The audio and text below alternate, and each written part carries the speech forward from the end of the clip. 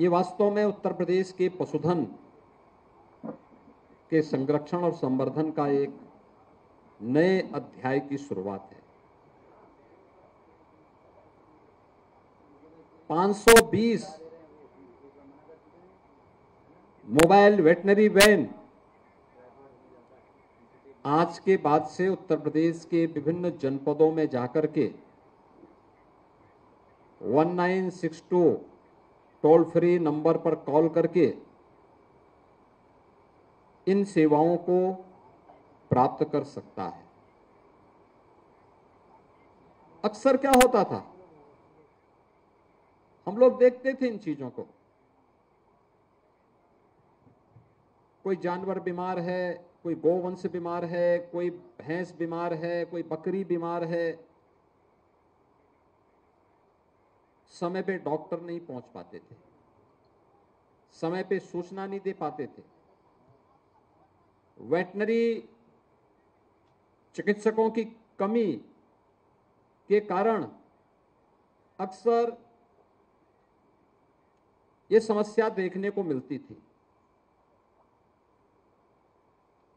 दूसरा, कहीं पे कोई एक्सीडेंट किसी गोवंश का हो गया किसी भैंस का हो गया, किसी बकरी का हो गया,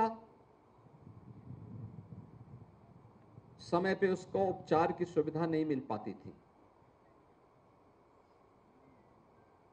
ये मोबाइल वेटनरी वैन अब प्रदेश के पाँच जोन में वहाँ पर कमांड एंड कंट्रोल सेंटर के माध्यम से संचालित होंगी।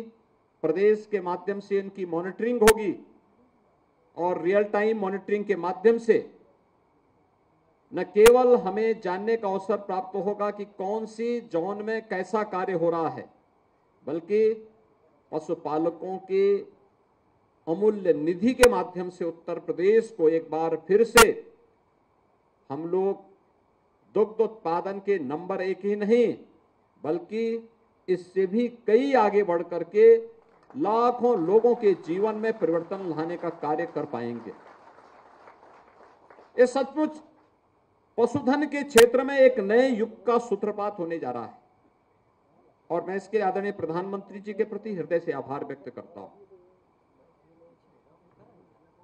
हम लोगों ने पिछले छह वर्ष के अंदर आदरणीय प्रधानमंत्री जी के मार्गदर्शन में उनकी प्रेरणा से उत्तर प्रदेश के अंदर गोवंश के संरक्षण और उसके संवर्धन के लिए अनेक प्रयास किए।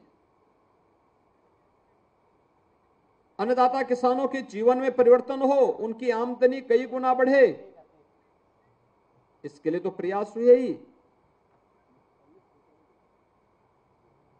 लेकिन साथ साथ अन्नदाता किसानों की फ़सलों को भी सुरक्षित रखा जा सके। इसके लिए पशुधन विभाग के द्वारा अनेक कार्यक्रम प्रारंभ किए गए। ये कार्यक्रमों की अपनी एक लंबी श्रृंखला है। आज भारत सरकार के साथ मिलकर के हम लोग नस्ल सुधार की दिशा में भी एक बड़े अभियान को आगे बढ़ा रहे हैं। निराशित गोवंश के संरक्षण के लिए 6,600 से अधिक निराशित गौआश्रय स्थल स्थापित किए गए हैं।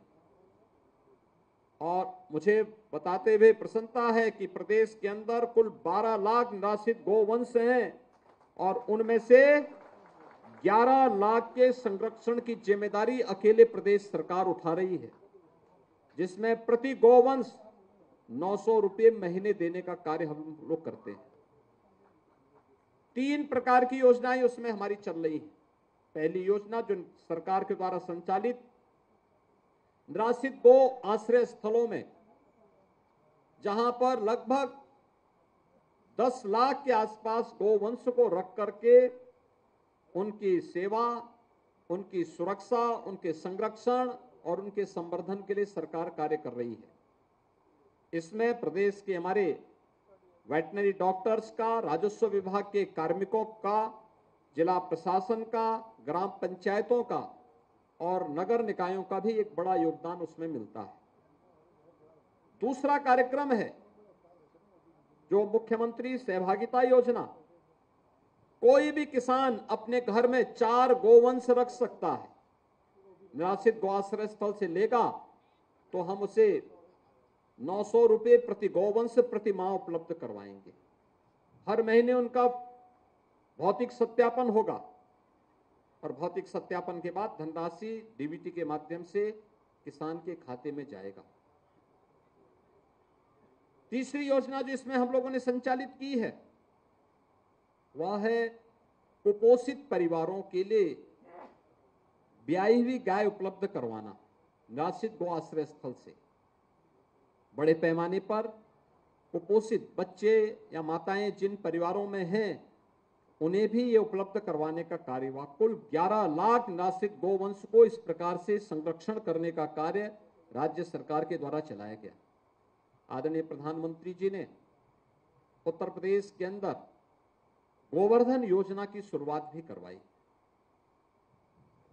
अब उसके माध्यम से उत्तर प्रदेश के अंदर गोवंश के द्वारा यानी जो गाय का गोबर है यह अतिरिक्त आमदनी का स्रोत किसानों के लिए बनेगा। बायोफ्यूल की यूनिट लग रही है यूपी के अंदर। वह अतिरिक्त आमदनी का स्रोत भी बनेगा। और ये कार्यक्रम युद्ध स्तर पर चल रहे हैं। गाय के गोबर से आज उत्तर प्रदेश में कुछ जनपदों ने पेंट बनाने का काम भी किया है। और हमारा प्रयास होना चाहिए कि इस पेंट को ब्रांडिंग करते हुए इसे हम सब्सिडी दें और इसको खूब हाईलाइट करें और प्रयास करें कि हर देव स्थलों पर, अपने घरों की लिपाई पुताई पर इस पेंट का इस्तेमाल करें। राज्य सरकार इसको लेकर के एक नए कार्यक्रम को लेकर के आगे बढ़ेगी।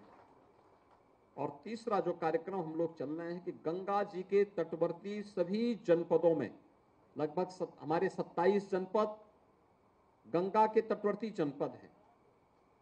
इन जनपदों में प्राकृतिक खेती को बढ़ावा देने के लिए। अब तक हम लोग प्राकृतिक खेती के लिए और साथ साथ यहाँ पर प्रदेश के अंदर हम लोगों ने इस प्रक्रिया को आगे बढ़ाने की दिशा में जो कदम बढ़ाए हैं, इसमें जैविक और प्राकृतिक खेती में अब तक हमारी लगभग सवा लाख हेक्टेयर भूमि में वर्तमान में यह कार्रवाई हमारी प्रारंभ हो चुकी है। और हमारा प्रयास है कि इसमें बढ़ोतरी हो, इसमें बुंदेलखंड के सातों जनपदों को भी हम लोगों ने लिया है। एक देसी नस्ल की गाय, हमारा ये मानना है कि वह एक वर्ष में 30 एकड़ खेती के लिए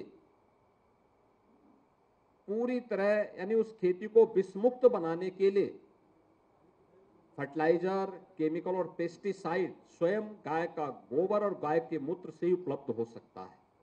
और यह कार्यक्रम भी युद्ध स्तर पर प्रदेश के अंदर प्रारंभ हुआ है। भाइयों बहनों, आज का यह कार्यक्रम बहुत महत्वपूर्ण कार्यक्रम है।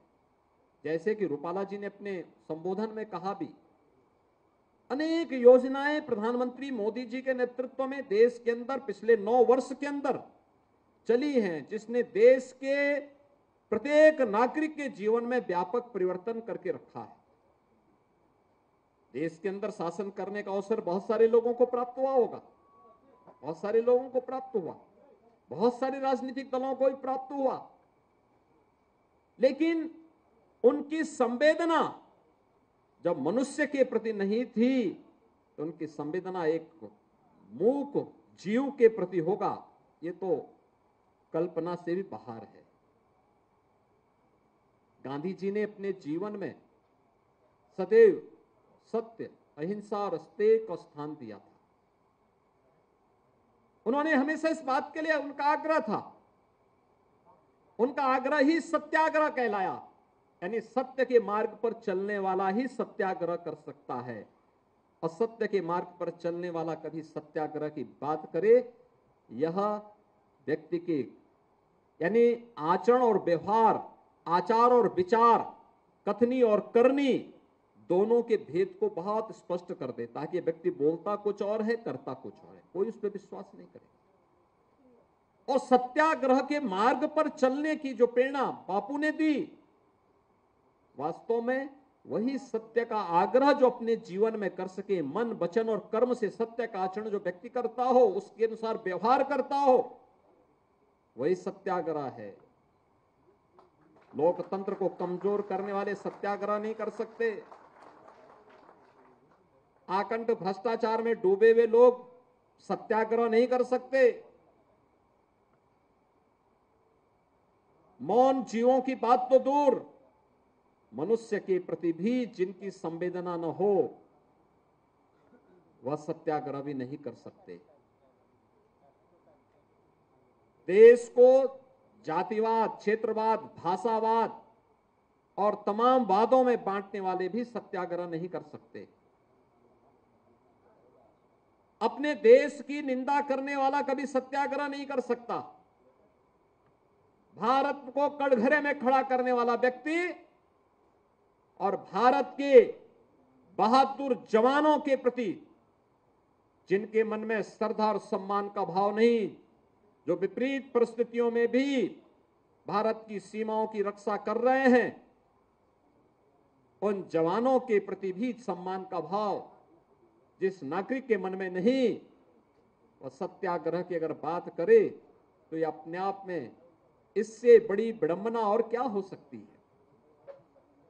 और इसीलिए आज जब हम यहाँ पर आए हैं, मुझे बताते हुए प्रसन्नता है कि उत्तर प्रदेश सरकार आदरणीय प्रधानमंत्री जी के नेतृत्व में, उन सभी स्कीम को, उन सभी योजनाओं को प्रदेश के अंदर प्रभावी ढंग से लागू करने वाले राज्यों में से एक है। गरीब को बिना भेदभाव के शासन की योजना का लाभ प्राप्त हो। न जाने कितने लोगों के जीवन में उसका उसका परिणाम सामने आया है। बीमारियों से लोग मुक्त हुए हैं। उनका जीवन स्तर बढ़ा है इस ऑफ़ लिविंग के स्तर को बढ़ाने में। जहाँ उत्तर प्रदेश ने सफलता प्राप्त की है, वहीं उत्तर प्रदेश निवेश के भी एक बेहतरीन गंतव्य के रूप में स्थापित हो इस ऑफ़ डूइंग बिज़नेस में। उत्तर प्रदेश ने एक लंबी छलांग लगा करके आज जो स्थान प्राप्त किया है, वह उत्तर प्रदेश के युवाओं के उज्जवल भविष्य को आगे बढ़ाने का एक सशक्त माध्यम बना हुआ है। मैं आज के इस अवसर पर